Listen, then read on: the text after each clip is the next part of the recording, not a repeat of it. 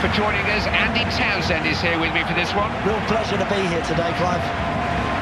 To reach the last 16 of the World Cup finals is an achievement in itself, but anyone who sees it as such probably isn't going to win the big prize. This is where the real contenders start to show us what they're, what they're made and what they can do.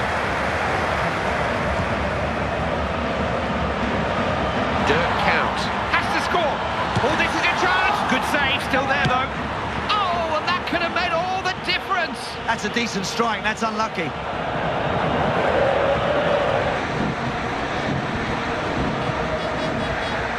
Stoch. Clear chance, saved. Slovakia have won themselves a corner.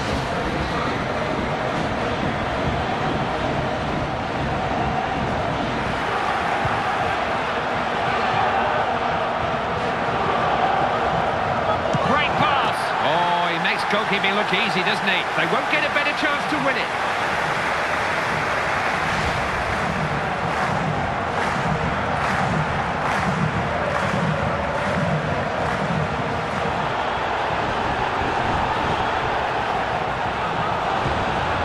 Popping it around.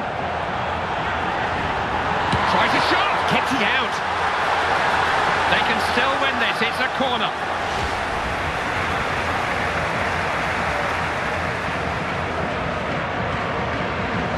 In for a moment or two there under real pressure, but they survived it. The whistle blows, and it's undecided. It's going to take another 30 minutes. Crossing opportunity. It's gone out into a dangerous area.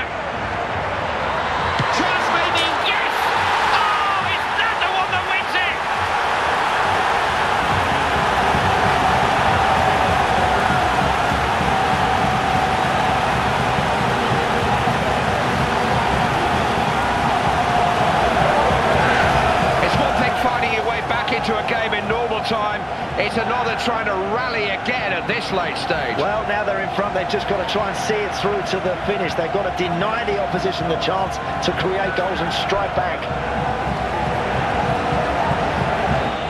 Through to the last eight, the best eight teams in the world, and they certainly look like one of those tonight.